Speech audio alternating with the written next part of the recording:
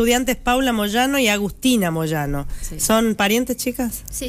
Ah, ahí va. Bueno, de la carrera de Ciencias Biológicas y Tecnicatura Universitaria en Biogenética. Bien Le vamos- cerquitas al Eso, micrófono a la que vaya a hablar, así las, las escuchamos al aire también. Sí, se lo van pasando, lo van moviendo, no, no, no hay problema. Bueno, hola a todos, muy buenos Buen día. días. Así es, estamos acá con las chicas que son estudiantes de la carrera y forman parte también de las agrupaciones y centros de estudiantes de nuestro departamento.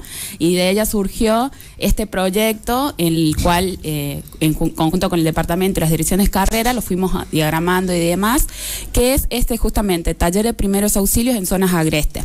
Surgió de que, bueno, los chicos empezaron a hacer las salidas de campo y necesitaban por ahí tener estos eh, primeros auxilios básicos por cualquier inconveniente para que, bueno, de ahí, con experiencias de ello, todos los estudiantes de la carrera o de otras carreras afines o también, digamos, es abierto al público, puedan eh, participar, puedan aprender y lo puedan eh, expresar y lo puedan trabajar cuando lo necesiten en alguna salida de campo o en alguna actividad, en este caso de montañismo o ciclismo y demás. Claro, además decimos zonas agrestes, o sea, toda Los Rioja prácticamente, o gran parte de Los Rioja, muchos, Eh, muchos espacios. ¿En qué se diferencia con el taller de primeros auxilios eh, común? ¿Sí? ¿Cuáles son las especificidades que, pueden tener los primeros auxilios en este tipo de zonas a los cursos de primeros auxilios que comúnmente vemos también, chicas? En los primeros auxilios en este tipo de zonas nos tenemos que preparar a un ambiente donde nosotros no contamos con servicio médico, donde estamos alejados de la sociedad en muchos casos, eh, y donde pueden ocurrir emergencias para las que nosotros quizás no tengamos todas las herramientas que tendríamos estando de forma normal en capital o estando cerca de la ciudad. Entonces, generalmente, y bueno, acá es muy, muy común hacer trekking o hacer actividades por toda la cantidad de montañas que tenemos. Entonces, el taller lo que busca es eso, prepararnos para situaciones donde no tengamos las herramientas que tenemos de forma común, porque, bueno, el biólogo tiene las salidas de campo como si fuera un laboratorio de la carrera. Claro, es como el insumo básico del es trabajo, un ¿no? conocimiento que no siempre eh, tenemos o por parte de la oportunidad o por parte de la universidad, que no se da como en todas las cátedras, pero que es eh, fundamental hacerlo. Entonces, cuando nosotros lo vamos a hacer de forma independiente, no tenemos mucha de la preparación que se requiere Claro. para hacer esas cosas. Claro. Y, bueno, ni nosotros ni la gente que hace trekking a veces. Bien, ¿y qué particularidades, un poco esto que, que- que decía Maya, qué particularidades hay que tener en cuenta eh, que quizás no se tienen en cuenta los- en, en un eh, auxilio común, digamos? En ese caso, por ejemplo, para hacer unas estadías de... eh, a la salida en campo en sí, nosotros la- que hacemos con los estudiantes es planearla. Hacemos como un manejo y una planificación anterior. Si bien pueden ocurrir estas cosas que son como actividades extra o requerimientos extra en, la- en cuanto a la salida. Pero más bien nosotros tenemos desde la carrera como una... mm, una mirada más bien bióloga, más bien, digamos, naturalista y no tanto esta parte de, eh, de salud en sí. Y es- al estar, digamos, en, en, por ejemplo, los chicos van a hacer eh, su salida de campo en el cantadero, donde no tienen ni señal de celular, eh, no tienen, digamos, toda la, digamos, la, el, las la, la hospitales ni los medios ahí en esa zona, entonces como que era necesario inculcarles esto para que ellos se puedan desempeñar por, ante cualquier adversidad que les ocurra, Claro. básicamente. Aprender a agudizar el, el ingenio, me parece un poco, ¿no? Porque por ahí, qué sé yo, vos decías, eh, bueno, en capital o en la ciudad podemos tener acceso a ciertos eh, recursos que en el campo no, y bueno, nos tenemos que dar vuelta con, con lo que tenemos. ¿o no? Preparamos un botiquín básico, pero no requiere, o sea, no tiene la cantidad de requerimientos que tenemos acá, es, muy diferente. Aparte también tenemos que saber accionar en, en el tiempo correcto, porque uno cuando está en situaciones de emergencia no tiene el tiempo de sentarse a pensar qué hacer, sino que ya tiene que tener como una reacción inmediata, porque, o sea, se pone en peligro la vida de la persona que está sufriendo la emergencia o incluso del mismo equipo, cuando uno tiene que bajar, o, o bueno, dependiendo en qué tipo de terreno esté también. Bien. Eh, pensaba también, más allá de, de- de que son, entiendo, está destinado a las personas por ahí más de, de- que tienen la salida de campo en general. Pero alguien que eh, no, no, no está en una profesión determinada, pero hace una actividad física cualquiera, lo mismo puede participar de la capacitación. eh, sí, por ejemplo, para personas. que Acérquense un poquito, Ah, por bien. favor, ahí al, micro, así las escuchamos bien. Ahí. Ahí está. Eh, por ejemplo, para personas que hacen senderismo o trekking, que a veces nosotros hacemos esta actividad inconscientes de, de por ahí tener estas medidas de seguridad, ¿no? Eh, y ah, digamos, por ejemplo, en un medio habitual, que tal vez acá en la universidad o, digamos tengamos ese contacto, tengamos o, eh, línea para llamar, o sea, las medidas, se van a dar las medidas básicas que uno, digamos, tiene que saber para cualquier, en cualquier situación.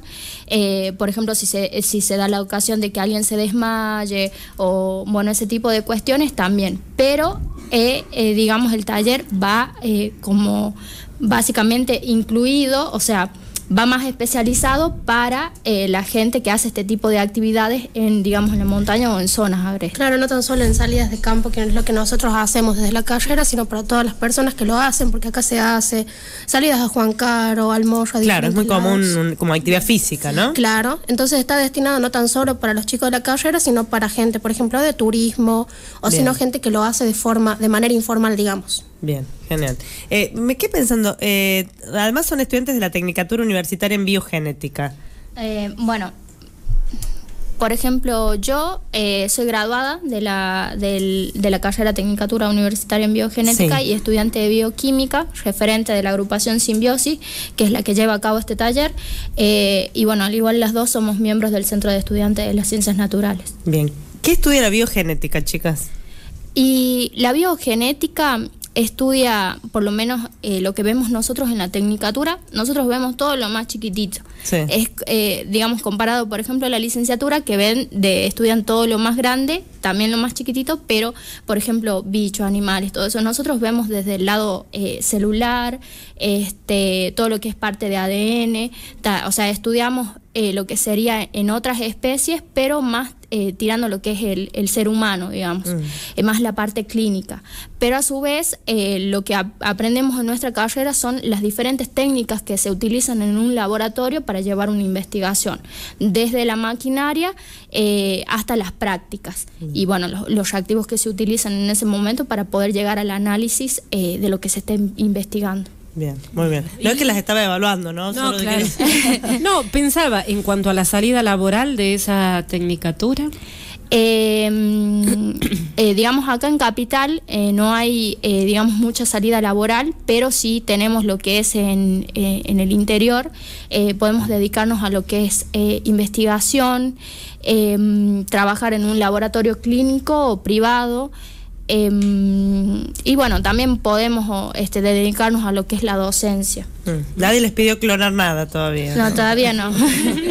Por eh, en este caso, en las prácticas de la tecnicatura se dan también lo que es en el CRILAR, que es en el, en el Centro de Investigación de, de Anillaco, Sí. y en donde los chicos trabajan puntualmente, se suman a un proyecto que están trabajando los profes, y bueno, eso también es una salida laboral. Tenemos compañeros que están trabajando en el IREXISA, tenemos otros compañeros que están trabajando en el Hospital La Madrileño, si bien es como una salida laboral amplia, pero estamos desde la carrera, o por lo menos desde el departamento, dándole no tan solo la parte clínica, sino esta parte, digamos, que trabajen en fábricas, que trabajen en algún, en el INTI, en el INTA, en esas, eh, esos, es- esos lugares que les puedan abrir las puertas a los estudiantes y que no sea solamente propiamente la salida clínica y darle un mejoramiento, en este caso, no tan solo genético, sino desde otro punto a la parte, digamos, agrícola de la, de la Sí, Rioja. vegetal y animal. Por Así ejemplo, es. hay muchos chicos que hicieron este, sus prácticas, eh, em, por ejemplo, en el CRILAR,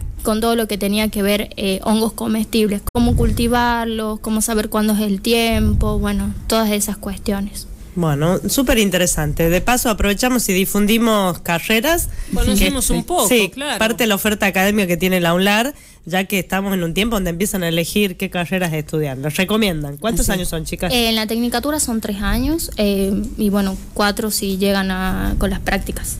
Bien. Claro. Ahí está. no Y está en la licenciatura tenemos cinco años y tenemos tesis. Es un poquito más larga, pero también es debido a la cantidad de diversidad que estudiamos. Sí. Siempre dirigido ¿no? a, a la diversidad animal y vegetal autóctona, ¿no? Nosotros estudiamos todo lo que está relacionado a lo que tenemos acá en la provincia y la Argentina. Bien, genial. Bueno, de paso conocemos un poco la oferta académica de nuestra uni, que es, es bien variada y bien interesante. Todo esto para contar un poco este taller, que eh, cuenten chicas cómo se hace para participar. Bien, en este caso el taller, como bien contaban ustedes, se va a dar el día viernes la parte teórica y el día sábado la parte práctica. Y para O sea, es necesario ir los dos días. Claro, porque con los conocimientos vistos el día viernes se van a poder implementar en la parte práctica del día sábado. Es como eh, es el, el requisito para que lo puedan entender y puedan aprender y puedan ejecutar cuando, cuando lo necesiten. En cuanto a las inscripciones, nosotros tenemos eh, de las chicas eh, un, eh, desde la agrupación se creó un formulario donde ya tenemos ahí al- alrededor de 60 inscriptos, así que bueno, estamos ahí llegando al cupo, pero bueno, siempre abiertos a, a todo el que quiera participar y bienvenido eh, al que quiera sumarse a la actividad. Y el que quiere sumarse, ¿cómo se acerca? Por un formulario de Google, ¿A dónde lo encontramos? ahí en, en las redes de nuestra, Bien. de la- nuestra agrupación, que es agrupación Simbiosis, sino de la SAE de ACEFIN, que también está compartido y estamos, digamos, colaborando con los chicos. ¿Tiene un costo? No, No, es no, totalmente gratuito Ah, genial. y tiene, digamos, interés departamental dentro del, del Departamento de Ciencias Exactas, Física y Naturales, así que bueno, le van a, tiene, cuenta con un certificado virtual. Bien, eh, esto es importante para quien lo quiera hacer eh, y lo pueda hacer, ¿no? ¿Qué horarios?